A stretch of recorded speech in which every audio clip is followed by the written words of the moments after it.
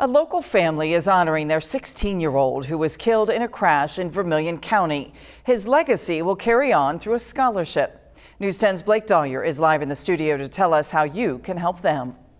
Patrice Cameron Cheuvront was killed in a crash at State Road 63 and State Road 234 back in May.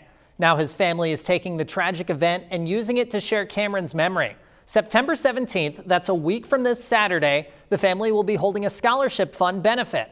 They say they have enough money to start the scholarship, but they want to raise money to keep it going for years to come.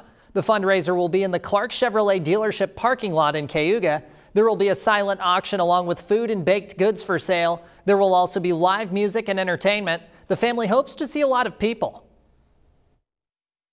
The more we can get in there and get it going, the more benefit um, high school kids in this area, not just this area, but pretty much Vermilion County, Indiana, and Illinois um, will benefit from it for years to come.